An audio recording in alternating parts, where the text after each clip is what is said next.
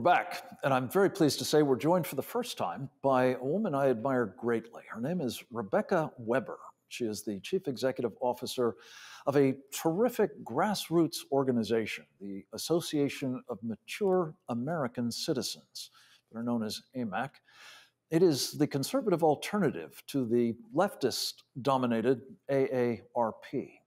She is also the editor in chief of the organization's publication, AMAC Advantage, and the host of its Better for America podcast, on which I've been privileged to appear. Full disclosure, I'm a new member of AMAC and a big fan of its work, including that of its spokesman, former Assistant Secretary of State Robert Charles, whom we're privileged to have as a regular contributor to this program. Rebecca Weber, it's so good to have you with us. Welcome. Thank you, Frank. It's it's a real honor to be here with you. Thank you. We're going to talk I hope with you, Rebecca, about both your own thoughts on the topics at hand, but also those of your members um, for whom you speak very effectively. I want to talk about it in the context of political warfare and something that Ronald Reagan warned about decades ago. He talked about every generation facing an existential threat to freedom. And he warned that if we did not rise to such threats in our time, that we would wind up telling our children and our children's children what it was like to live in the United States when men were free. I know you and your organization are committed to ensuring that's not our fate, but talk a little bit, if you would, about kind of how members of AMAC view this issue, this challenge of defending our country against those who would take it down, transform it beyond recognition through political warfare and, well, other means of subversion?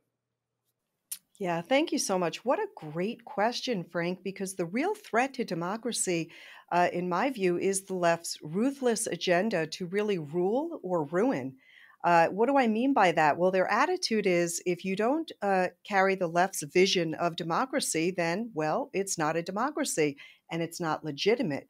And I believe that Democrats already believe that because of their failure of uh, H.R. 1, which was one of their ways that they would rule, uh, that is off the table. That was the federal takeover of our elections.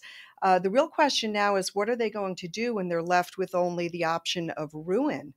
Uh, and uh, I love your quote by Reagan. I also, it reminds me of another uh, famous quote Liberty once lost is lost forever. Uh, when the people once surrender their share in the legislature and their right of defending the limitations upon the government and of resisting every encroachment upon them, they can never regain it.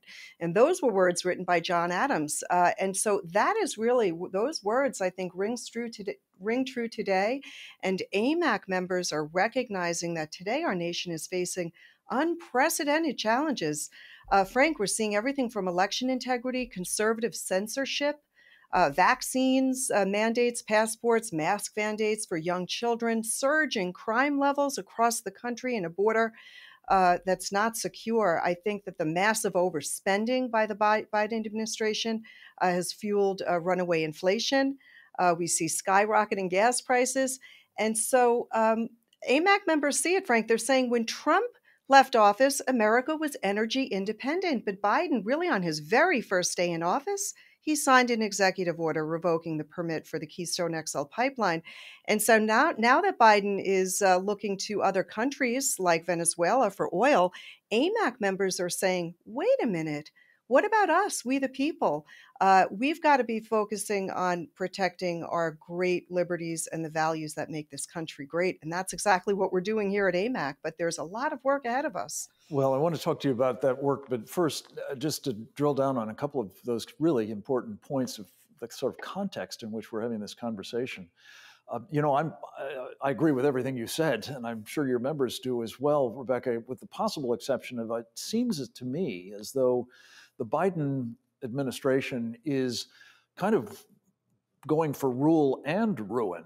and the, the damage that they're doing to our country, um, even as they profess to govern it, is almost incalculable in all of those areas. And I, I would add one other item to the list, and I, I know you, it was meant to be illustrative, but it was pretty comprehensive. But one that you didn't mention is the Marxist strategy of dividing and conquering. And it takes the form, particularly these days, as you know, of what's been called critical race theory that um, we're seeing our children indoctrinated with, uh, the military is being subjected to, um, and our country more generally. Um, talk a little bit about that, if you would, and, and how AMAC members who are concerned not only about you know what's happening in our present generation, but what it means for the next were saying about that. Yeah, th- that that is so important, and we actually poll our members. We poll our members. We take our marching orders from our over 2.4 million members,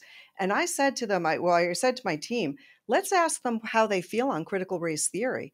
And so the team put together a really comprehensive poll, and we learned that AMAC members, uh, mainly anybody can join AMAC, but most are 50 and older, said help to stop the indoctrination of our children in our school systems because they truly recognize that they are the future of our nation.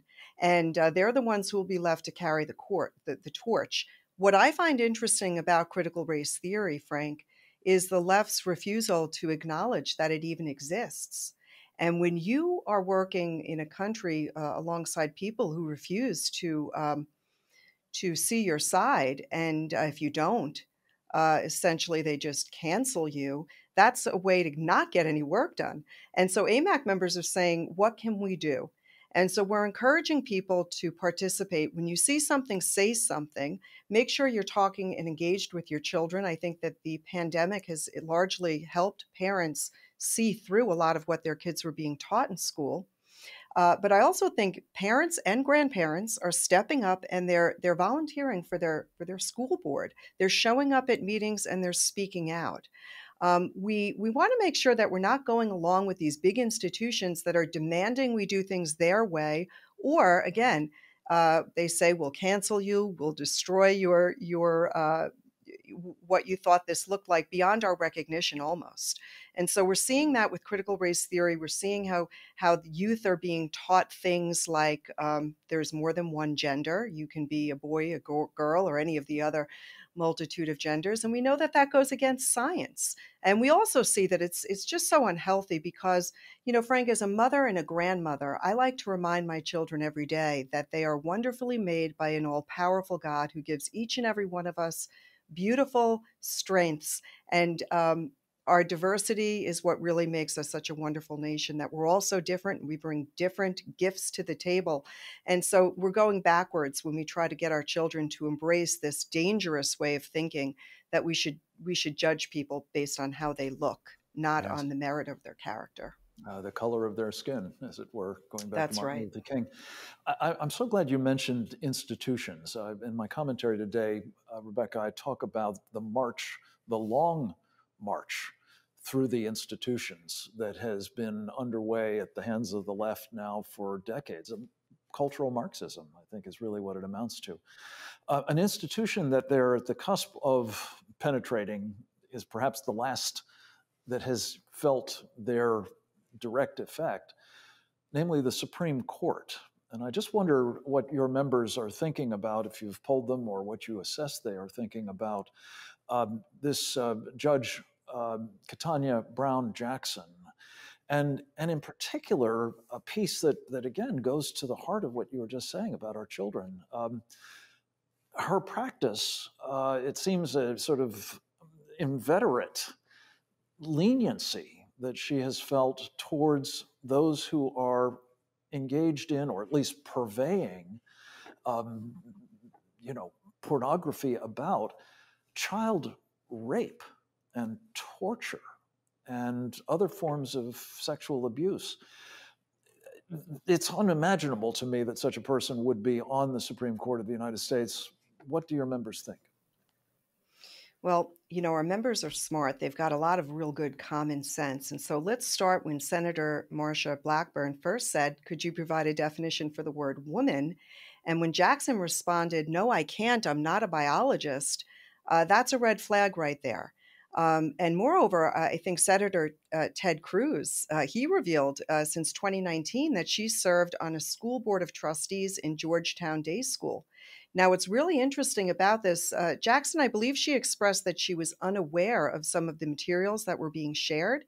Uh, but she did say that she witnessed a transformative power of rigorous progressive education that's dedicated to fostering critical thinking, independence, social change, and social justice. Uh, what I'd like to say to that is that um, let's look at what uh, uh, the types of books that Georgetown Day School assigns, and and uh, this was all uncovered that they are assigning the Ibram Kendi How to Be an Anti-Racist, uh, and other books that support uh, critical race theory. So our concern is: um, is it far fetched for us to think uh, that Jackson may see herself as someone who, you know, uh, embraces critical race theory. We know she gave a speech. Now, this was in January of 2020. She gave a speech praising Derek Bell. Now, Derek Bell is widely considered to be the father of CR- CRT, critical race theory.